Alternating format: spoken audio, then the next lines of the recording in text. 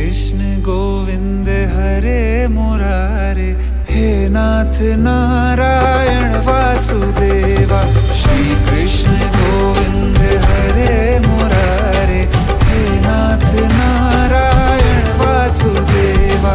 देव की नंदन, तुमको वंदन रखते सबकी लाज सबके स्वामी अंतर्यामी पूर्ण कीजिए काज।